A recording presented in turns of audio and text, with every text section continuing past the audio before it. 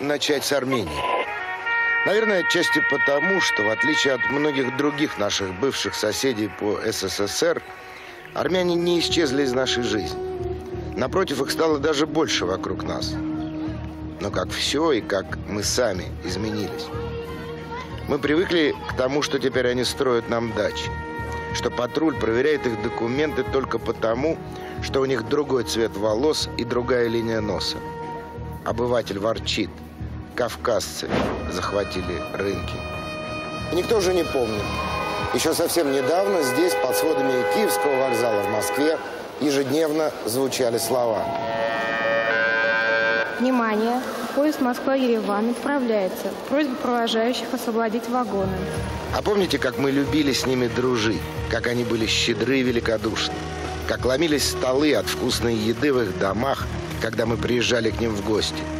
Как возили нас на экскурсию в Ичмиадзин, показывали древние рукописи Матанадарана? Как трогательно гордились своими знаменитыми земляками, разбросанными по всему миру? Своим коньяком, розовым туфом и обувью фабрики «Массис».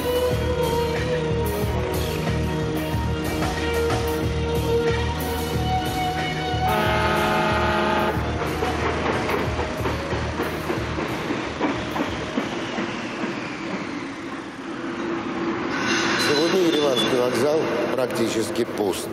Только один поезд отправляется отсюда для того, чтобы вернуться через сутки. Ереван, Тбилиси, Ереван. Железнодорожное сообщение с другими городами прервано. Люди здесь шутят. В последние 10 лет Бог разлюбил Армению. Даже в столице, в многоэтажных домах они годами не видели тепла и света. Средняя пенсия составляет около 10 долларов, немногим больше зарплата служащих. Когда-то в Советской Армении проживало более трех миллионов человек. Каждый третий из них уехал в поисках лучшей доли. Республика только ищет дорогу, которая приведет ее к благополучию и процветанию. Но мы, собственно, не об этом.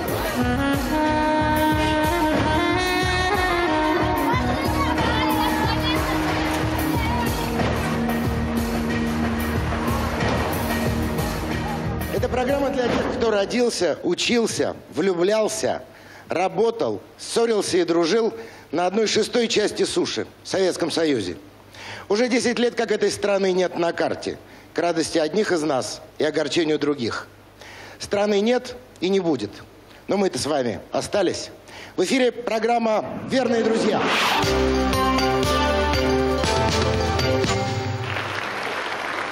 Итак, сегодня у нас в студии люди, которые знают и любят Армению.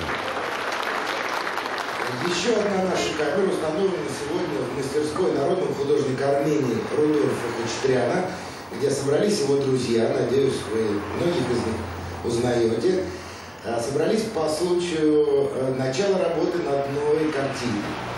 Надеюсь, что вы, господа, присоединитесь к нашему разговору. Я хочу рассказать вам историю одной семьи. Как и любая семейная история, эта история началась свадьбой. Кто расскажет мне, как женятся в Армении? Ну, Конечно, чувства возникают так же, как и в России, но мы проходим стадию обручения. Это до, до года, после чего играют свадьбу. Если я армянин, я могу сам выбрать себе девушку и сказать, папа, я хочу жениться на этой девушке? Или это по-другому как-то происходит? Значит, э, обычно как? Кто-то должен показать кого-то. Да. Ну, не показать, а просто э, рекомендовать. Ну, это, как сказать, если... Если, например, по роду раньше, как э, обычно сказали, его дед такой, прадед такой, и передали так родственный характер всем. И так изучаем примерно. Не дай бог, болезни не был. И А вот если вроде поначалу показалось все хорошо, потом что-то не так. И хочу я развестись. Это тяжелый вопрос, во-первых. Разводиться у нас, во-первых, не положено. Как Это- не пол- Ну не люблю я эту женщину. Ну и как не любишь, если родители тебя познакомили, родители тебя обручили, все это у нас не положено, чтобы мы разводились. В армянской семье это было самое такое А в святое. Армении принято красть невест. Вот оживление в зале. Очень редко, бывает, но редко, бывает, но редко, конечно. Когда приходят за невестой, братья невесты просят выкуп, и у входа э, начинают переговоры такие вот э, с представителями жениха, хаворы, да, у нас их называют, вот, и просят деньги. Еще прячут туфель невесты, когда она должна уже выйти из дома, и за туфель тоже просят деньги. Спасибо, но вы или не знаете, или забыли еще об одной традиции армянских свадеб. Она родилась в 72 году, когда строили мост через ущелье по дороге в Джермук. Эту стройку вел 10-й отряд Министерства транспортного строительства. И как всегда в те годы, в этом отряде кого только не было. И открывали мост так. Навстречу друг другу, с разных концов ущелья, бежали по мосту жених и невеста. Встречайте, Виктор и Нина Сухаревы.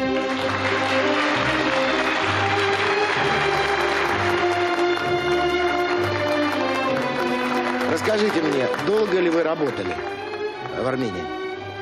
Я работал 8 месяцев, 8 или 9 месяцев. Ну, до самого конца, до сдачи, моста, до сдачи моста. И мы уехали оттуда 28 декабря. Вы монтажник, Да, а вы, Нина? медсестра. Медсестра, да? А а вы приехали... Вы действительно не были знакомы до этого? Нет, не было. А как познакомились, интересно? Что Виктор заболел? Да Она была у нас медсестрой на участке. И все. Что все? Вот и познакомились. Мы познакомились в июне месяце, а в октябре уже пошли под венец. Быстро и И до вы. сих пор мы живем уже почти Монтажники. 30 лет. Здорово. В следующем году будет. А кто придумал, вот, что надо бежать-то по мосту? Ну, в общем-то, там за, за то, чтобы пробежать по мосту и встретиться на при... Да, сами, сами. Сами? Было, было много конкурентов, ну, решили мы. Там мост строился из города в аэропорт. Когда эту плиту опускали, последнюю, мы первые пошли. Да.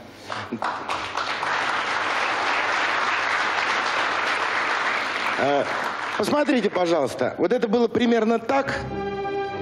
Двермук, да. Ну, конечно, не фата. Красиво.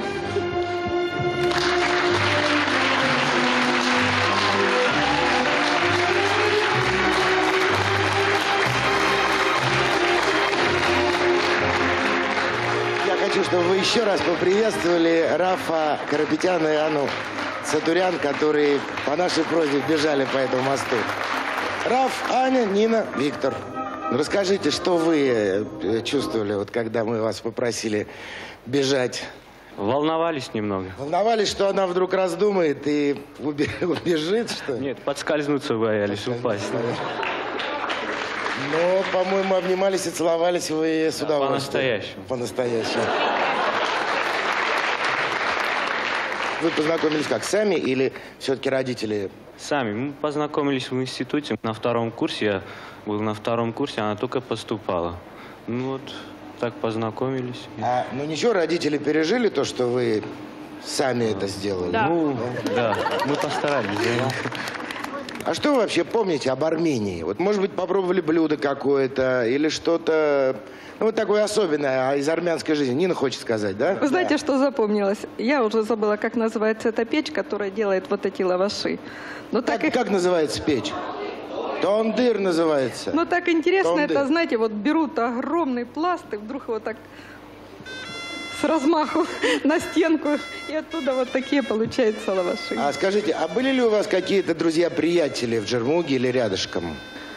Ну, чаще с нами общался, вот из молодых нашего возраста тогда был.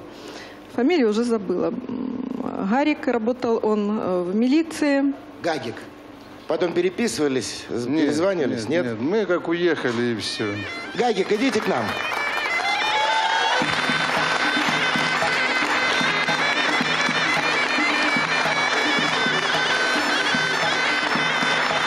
Идите сюда.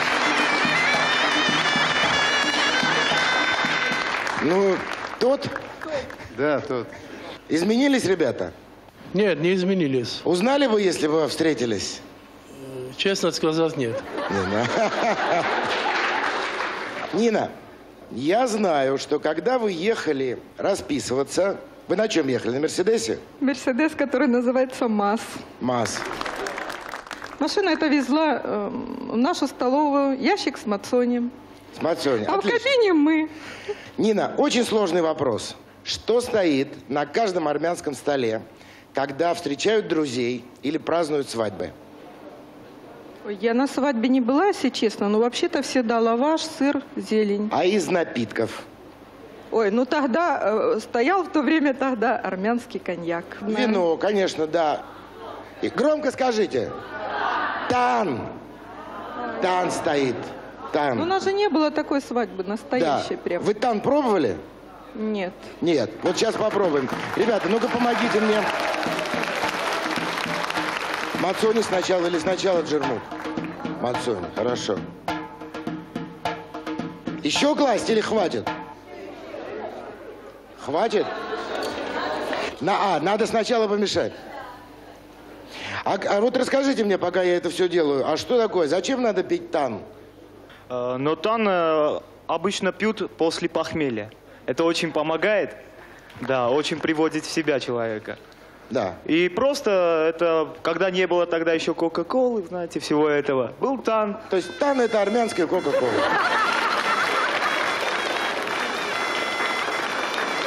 Хорошо. Э, Виктор и Нина. Сколько лет вы вместе прожили? 29 лет. Целая жизнь. Пожелайте им что-нибудь. Я хочу, чтобы вы уважали друг друга, понимали. И чтобы то чувство, которое было в начале вашего пути, сохранилось, ну, не на 29 лет, но на 50. За армянским столом таном тост не говорят. А на русском телевидении в начале программы не выпивают. Я хочу пожелать этой симпатичной, замечательной паре ми борцы церанак баликнерджа. Я сказала, чтобы они состарились на одной подушке. Вот, это наш принятый у, нас в Армении тост. Его говорят новобрачным. Ми борцы. Можете в качестве репетиции вашего 30-летнего юбилея, можете поцеловаться, а мы вам по-русски горько крикнем.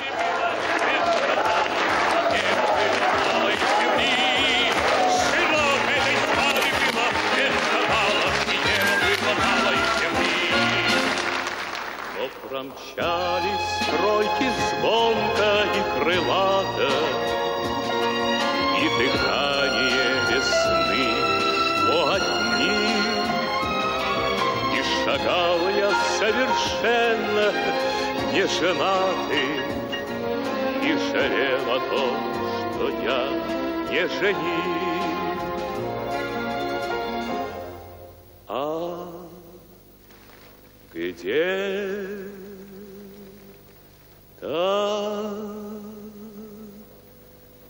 свадьба, свадьба, свадьба пела и плясала, и крылья эту свадьбу вдаль несли. Широко этой свадьбе было место мало, и неба было мало, и земли.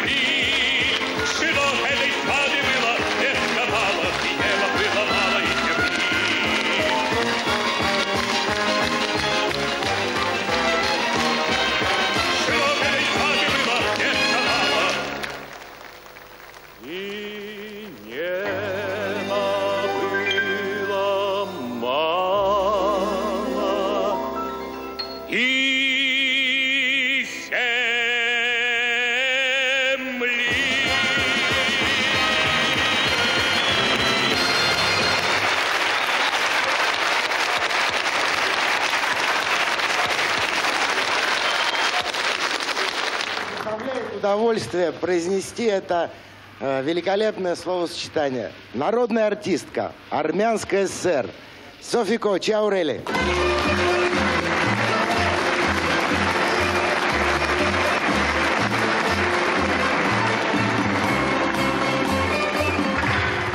Софья Михайловна, э, очень серьезный вопрос.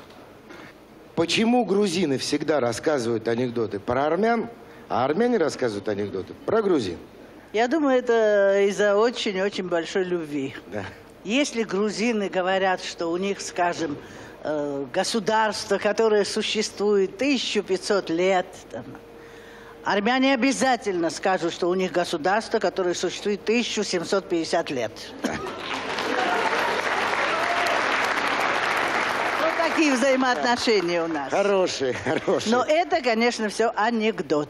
Да, я понимаю, вот я сейчас только что был в Ереване, и когда ты видишь, что единственный поезд, который приходит, это поезд из Тбилиси, и единственная дорога, по сути дела, по которой можно приехать, это дорога из Грузии, все становится понятно про, про ваши взаимоотношения.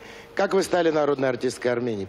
Это вообще было первое звание ваше, или до того все... Нет, я была уже народная артистка Грузии. Грузии, да? Грузии была, и потом э, вот мне при, присвоили это звание народной артистки Армении, которой я по-настоящему горжусь.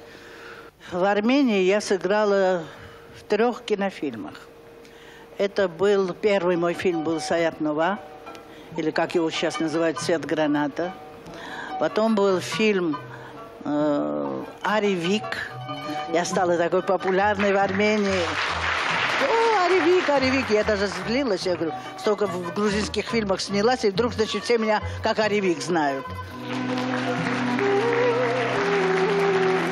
Спасибо, Софья Михайловна.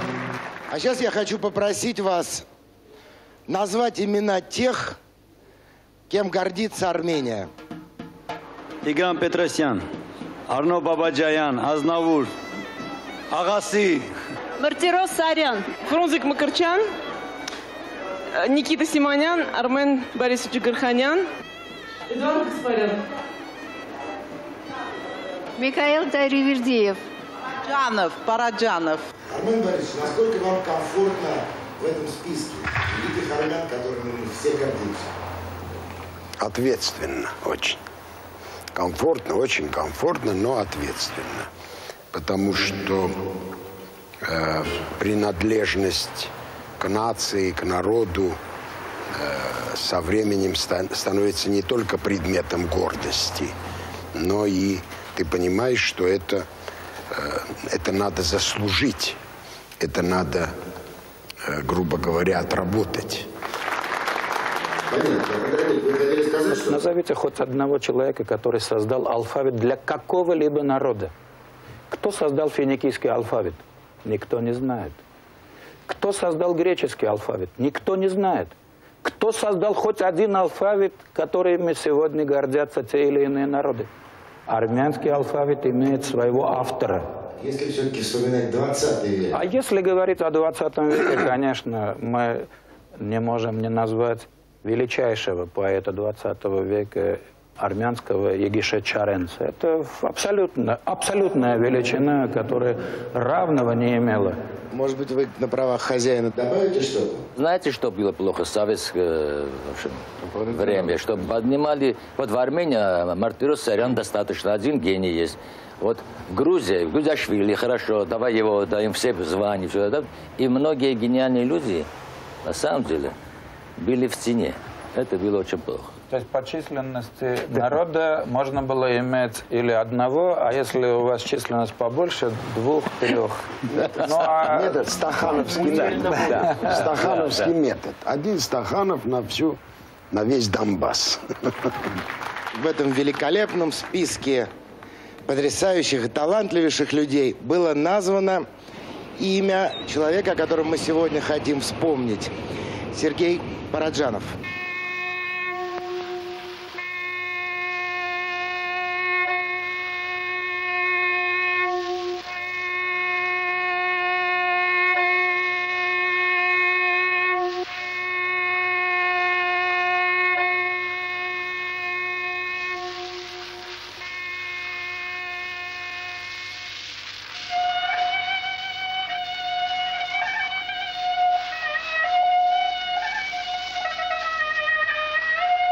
Когда мне позвонил э, Сережа Бараджанов и сказал, что э, я должна играть в армянской картине Саят Нову, то есть му- мужчину, ну, я обалдела, обомлела. Я говорю, как? Да, да, да. Но не бойся, не только мужчину, ты там будешь играть и принцессу Анну, там и еще шесть разных образов.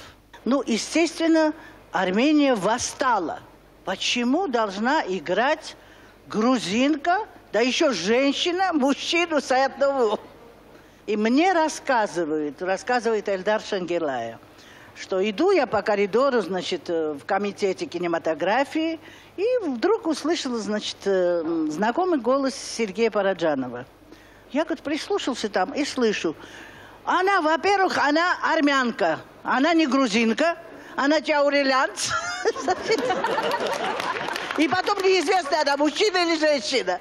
И на это уже, ну, Сергей, это уже слишком. То есть он пошел на все, чтобы, значит, меня утвердили на эту роль.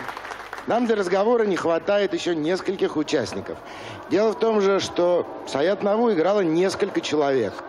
Милкон Аликян, выросший мальчик из этого фильма. Где вы, Милкон? Садитесь.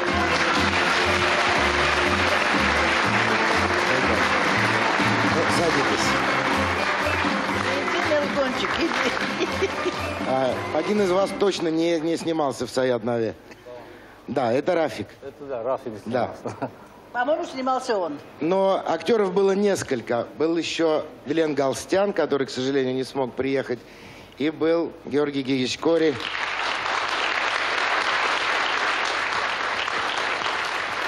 Народный артист Грузии, один из самых-самых больших, больших актеров Грузии. Любимых, больших. Он, он снял пластически э, художественную картину с цветом, как живописец, как э, э, великий знаток пластики человека. Две фразы, поворот головы э, или жест такой, э, он должен быть об- обязательно значительным, потому что в этом рисунке иначе многословие невозможно. Я вновь обращаюсь в мастерскую Рудольфа Кучтряна. Мы вспоминаем Параджанова. Кто-то из вас встречался ли с ним? Параджанов был в нашем доме. И тогда Дом кино был вообще вместо тусовки, сами в советское время Дом кино попасть невозможно было. Всегда там собирались вечером. И вдруг Наташа, моя жена, показал шали, которые мама, его мама, это, все это рукоделие прекрасное. Он взял, Наташа, вот так два шала одевать, сказал, вот смотри, ты пойдешь в Дом кино, и ты будешь покорить всех баб. На самом деле, это были как прекрасная одежда. Вот его фантазия вот так работает. Вот что такое Параджанов. Параджанов от нечто создал чудо. Он умел видеть. Вот в этом самое главное. От всего. Вот что его глаз попал, он оттуда что-то хотел создать что-то. В этом его гениальность, вот, вот понимаете? это то, что вот это, вот это есть идея Творца. Вот он творец. То есть он все, что как царь Медас. Царь Медас к чему прикасался, все превращалось в золото. К чему превращался Параджанов, превращалось в произведение искусства. Если кто-либо в 20 веке был реально Богом, я прошу прощения за богохульство, которое, но я имею в виду как творец, естественно, художник, это единственный человек от начала и до конца Бог, который создал свой мир, населил этот мир и руководил этим миром, это был Параджанов. Другого такого человека в культуре 20 века не было. Завен, я вот согласен с Софиком. Мне тоже странно, что э, Параджанова приватизировали армяне. Э, хотя у грузин на него много Он прав у меня три тоже. родины. Я родился в Грузии, работал на Украине, а умру в Армении. И, в общем-то, естественно, это было его желание. Я понимаю обиду Софико, и я надеюсь, что в Тбилиси будет дом-музей, и в Киеве будет квартира мемориальная. Он на какой-то свой день рождения звал всех, шел по городу, звал всех, думая, что никто не придет. А пришли все, и пришлось тогда накрывать на лестнице. Это было его 50-летие, которое он свой день рождения отмечал э, в день рождения сына. И свое 50-летие он провел в тюрьме, к сожалению. И вот он, э, на этот день рождения пришло очень много людей. И действительно, людей негде было сажать. И люди, тамада в лифте поднимался и чокался с, значит, гостями на этаже. Если после трех ночи кто-то звонит, значит, это Сережа Параджанов. Я знаю, что он еще в тюрьме, и его должны буквально вот на днях выпустить. И вдруг, значит, три часа ночи раздается звонок. Я, значит, своим говорю маме, я говорю, неужели Сережу выпустили? И, значит, я бегу, открываю дверь и вижу, стоят два армянина, держат огромное зеркало, отсюда, отсюда, значит, зеркало, и говорят, это вам прислал Параджанов. Для меня это, знаешь, вот отдельная какая-то праздник в моей жизни. Сергей Параджанов. Это праздник в моей жизни. Так странно устроена наша жизнь. Сегодня два фильма армянина Параджанова принадлежат Грузии, один фильм Украине. В Грузии он родился и жил, на Украине работал. Можно поделить права на фильмы Параджанова, но невозможно даже в нашем новом политическом устройстве разделить Параджанова между всеми нашими независимыми государствами. Как нельзя, хочу я вам сказать, и разделить Саят Наву, который писал и на армянском, и на азербайджанском, и на грузинских языках. Спасибо вам.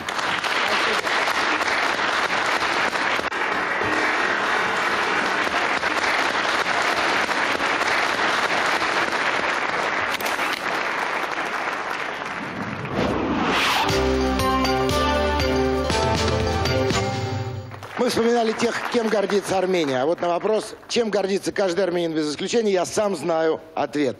Ничто не наполняет его сердце таким светлым восторгом, как воспоминания о победе ереванского Арарата над киевским «Динамо» в 1973 году.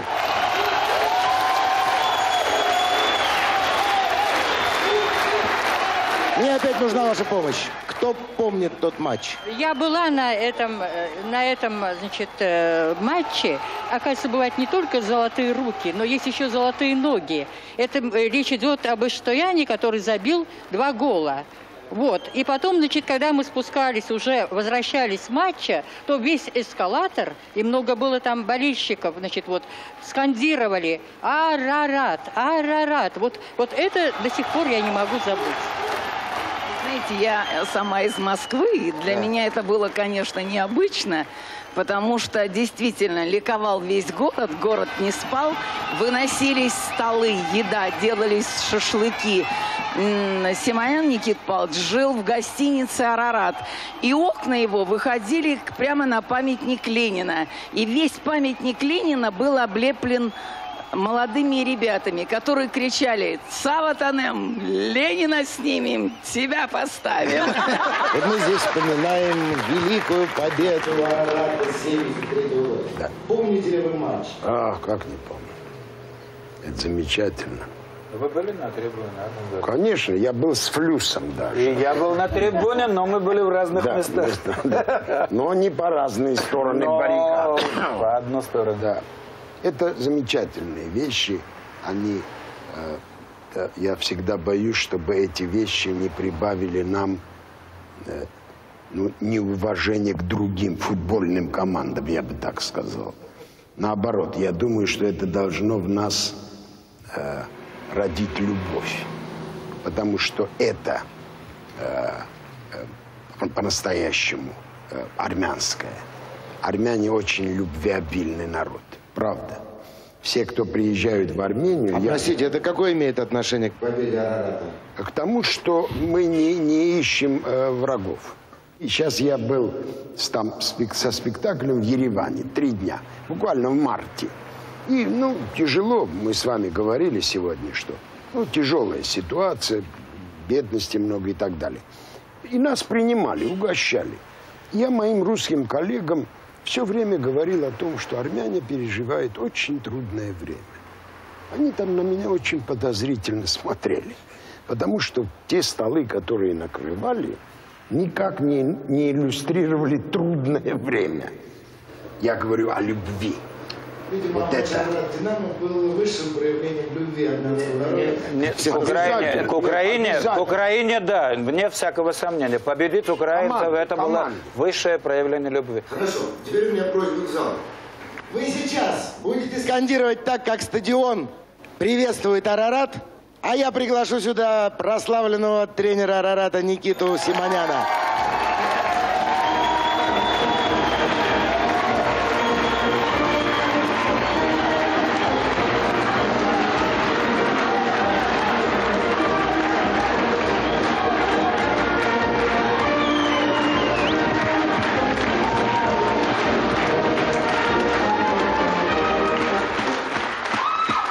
Спасибо, спасибо, спасибо.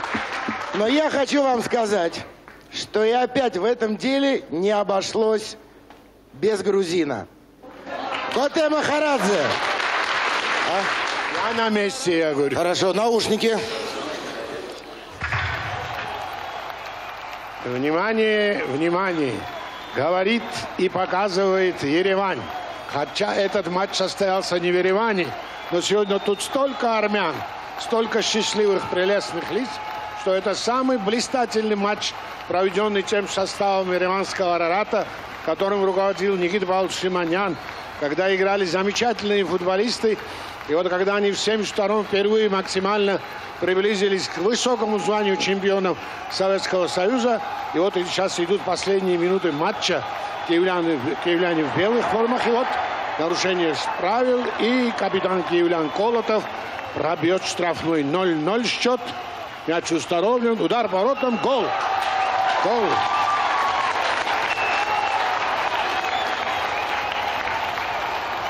Все меньше и меньше времени остается у ереванского Арарата отыграться, а потом добиться и победы. К этому и стремится вся команда. Вот болельщики, приехавшие из Еревана, болеют за свою команду. Вот армяне перехватывают мяч, продвигаются вперед. Там опасное, так сказать, в обороне здорово играют киевляне. Вроде отбыли мяч. И вот мяч у Иштаяна, удар воротом. Нет, вратарь за- забирает этот мяч. Снова атакуют армянские футболисты. Все это происходит в штрафной площадке. Вот Никита Павлович Симонян. Молодой какой был, а? Вот сейчас последует еще одна атака ереванского Арарата. Всей командой. Даже вратарь вышел к центру. Остальные все в атаке. Все приближаются Спасибо к штрафной площадке. Арарат, Арарат, кричат на трибунах. И ну это понятно. Надо забить. И Стоян, удар воротом, гол! Гол, гол, гол!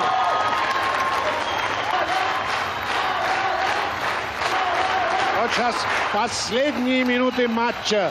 Вот удар по воротам, это Иштоян бил. Снова Леоник Иштоян. И счет становится 2-1. Тут после этой победы блестяще сыгравшие футболисты иранского Арарата получают право поехать в Европу и защищать честь огромной страны на европейских стадионах. Сейчас у нас пресс-конференция. Участвует Никита Симонян и Константин Махарадзе. Но прежде перенесемся на стадион Раздан, где по нашей просьбе собрались те самые игроки Арарата-73. Аркадий, вам слово. Э, Я думаю, что этот матч, который был с «Динамо Киевом», он носил э, для нас принципиальный характер, потому что Арат никогда не был обладателем кубка. Я думаю, самое главное было для всех армян, живущих в Армении и во всем мире, что маленькая республика взяла и кубок, и чемпионство завоевала. Никита Павлович, я помню, когда, ну, ну, во всеобщей радости, когда мы в Новогорск приехали, там, значит, несколько бутылок шампанского. Он сказал, ребята, выпейте по бокалу шампанского за победу. Мы все отказались. Это его поразило и одновременно обрадовало. Выпили, выпили. Ну, может, кто выпил, а кто не... Я, например, не выпил. А почему?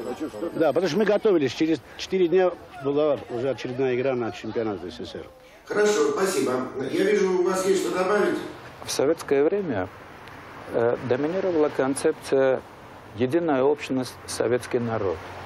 Ты там евреи, русские, армяне и так далее. Твоя этническая принадлежность никого не интересовала. Ты советский. Народ все равно хотел себя реализовать и выразить. И спорт превращалась в то место, где народ себя выражал. И поэтому в спорте пытались побеждать украинцы, чтобы показать украинский футбол. Это лучший футбол. Там художественная гимнастика украинская – это лучшее. Что там Малика Сабирова какая-то танцовщица, она уже не танцовщица. Это не балерина в американском и европейском. Не, это таджичка, это величайшая танцовщица. И в этом отношении победа Арарата – это проявление национального духа. Вот так воспринималось. И только в таком случае миллионы людей могли выбежать на улицы, жарить шашлыки, не спать ночь и праздновать. Аркадий, всё но ведь несмотря на все это существовало спортивное братство. Вот сейчас мы это ощущаем. Тогда это нормальное явление было, общение, общение, и никогда не думали, что может нас так разлучить. Сейчас мы, конечно, думаем, что вот то, что было, это драгоценное для нас, дружба такая была у нас. Когда мы ехали, чувствовали у себя дома. Это было в России, на Украине, я не знаю, во всем Союзе. Вот сейчас больше ощущаем, что этого нам не хватает. Так, продолжаем разговор. Скажите, пожалуйста, вопрос к Никите Симоняну. Для вас тоже это был звездный час? Вот за все эти годы, которые вы в футболе, день и матч, который вы вспоминаете вот так, как вспоминают его наши гости? команда э, 73 года, она имела в своем составе звезд, выдающихся звезд, которые уже готовы были к решению больших задач. Вот сидящий здесь Эдуард Маркаров, Аркадий Андреасян, Алеша Абрамян, Шура Коваленко, э, Заназанян Ованес, значит, Иштаян Леон, Казарян Коля. Ну, в общем-то, всех я могу перечислить, потому что все ребята э, знали, что делать на футбольном поле. Поэтому без, без звезд ни один великий тренер не добьется победы. Хочу сказать о Никите Павловиче. Во-первых, это гордость всей Армении. Вот только что перед началом этого сюжета вы спрашивали, кого знает зрительный зал из выдающихся армянских деятелей. И наряд- наряду с Саряном и Сараяном, Амбарцумяном и Хачатуряном было названо имя Никиты Павловича. Это огромное признание. Но я к этому должен прибавить еще, что и мы гордимся э, Никитой Павловичем, потому что он воспитанник грузинского футбола. Он начинал свою дорогу Уми. Один анекдот можно я расскажу? Нужно. Ереванский Арарат спросили, вы выиграете у сборной Бразилии? Они сказали, выиграем. Каким образом? Оденьте на них форму тбилисского «Динамо», и мы выиграем.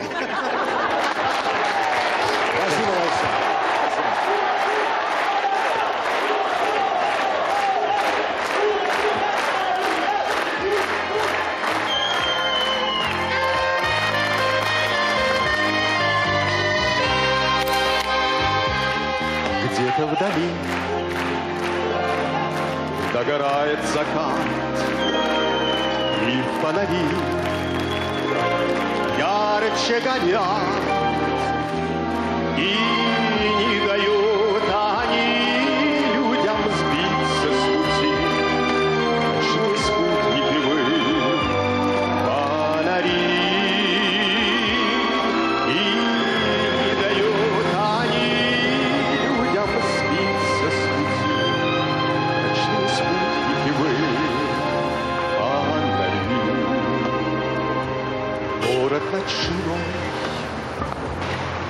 серебрится в реке.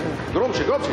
Арки мостов в сказочном сне. Окна больших домов погасили огни. Лишь неустанно горят фонари. Как не любить свет ночных патрулей, как не любить огней. Пусть же всегда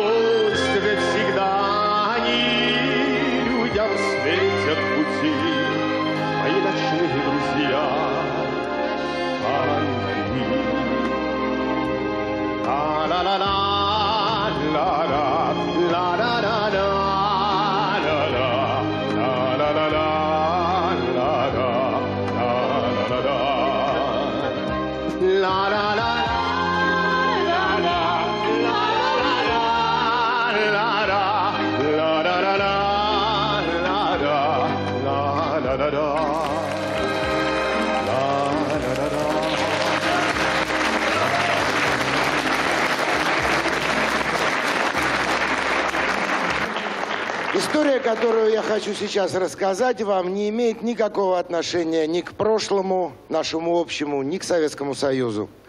Это история из настоящего времени, из сегодняшнего дня. И в ней, как, впрочем, и в всех предыдущих историях, настоящие люди. Давайте посмотрим сюжет.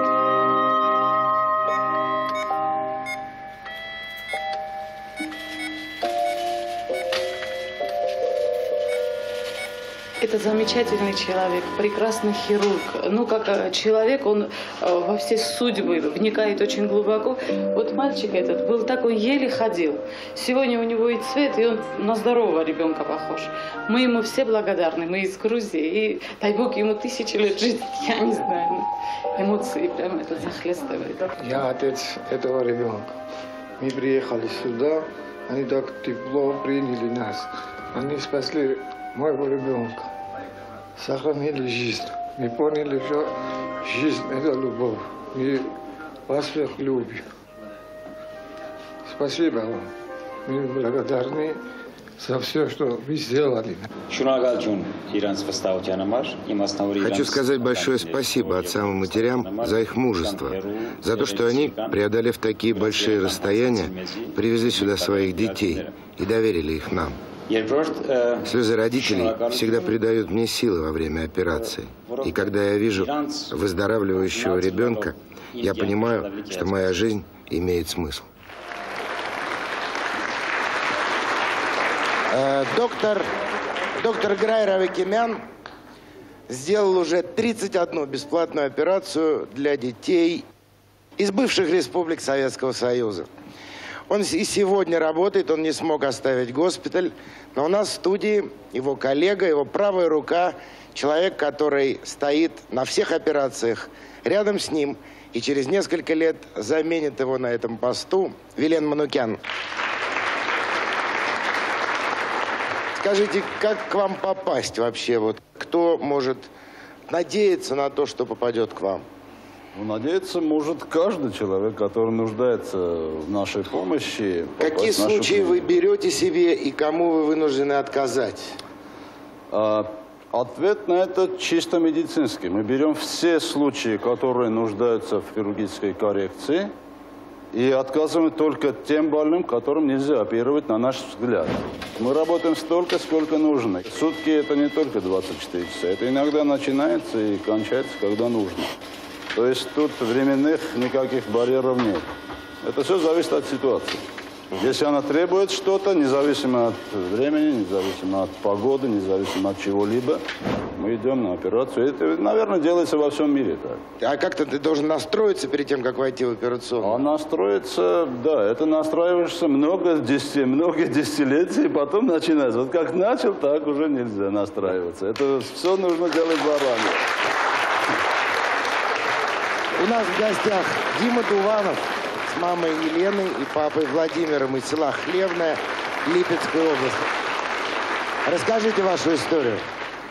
Ну, Дима родился сразу с врожденным пороком сердца. Вот. Так как мы семья военнослужащих, мы, нам приходилось ездить по всей стране э, великой. Вот. И Диму, в общем, смотрели многие клиники.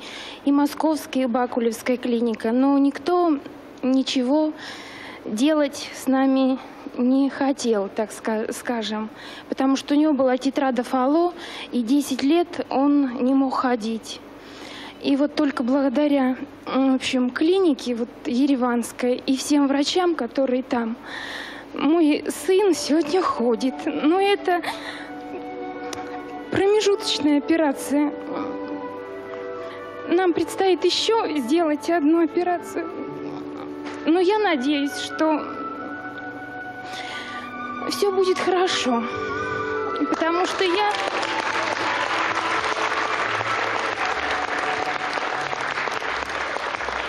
То, что я увидела в этой клинике, это не передать словами. Там отношение людское безгранично, просто безгранично.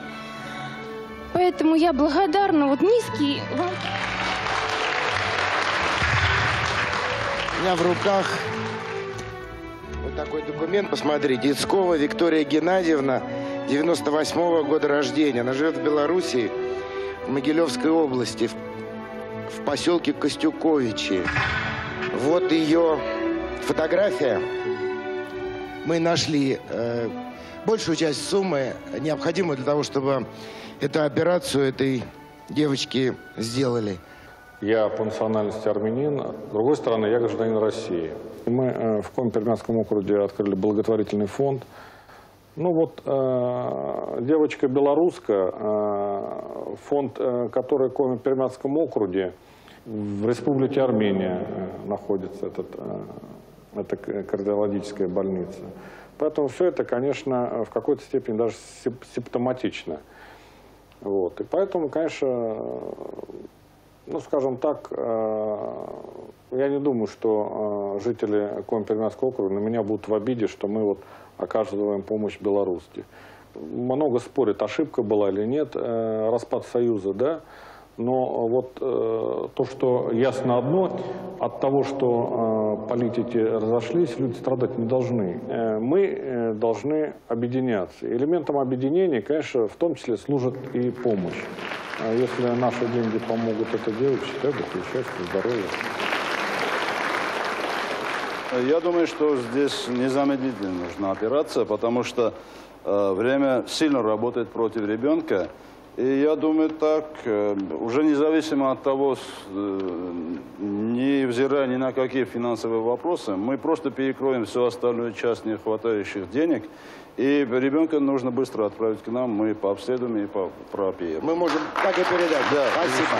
Я думаю, Низкий поклон вам, доктор, от всех нас. Спасибо вам. Мы вернемся через несколько минут. Смотрите нас после выпуска новостей.